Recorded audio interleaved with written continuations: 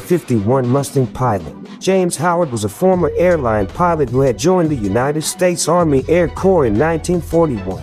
He was a skilled and fearless pilot, known for his quick reflexes and sharp shooting.